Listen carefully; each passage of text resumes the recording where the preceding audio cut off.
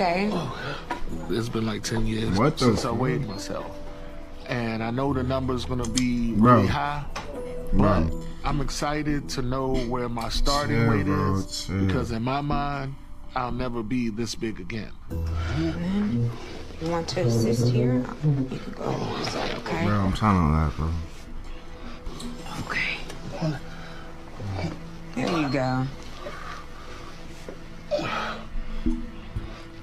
Hold on, bro.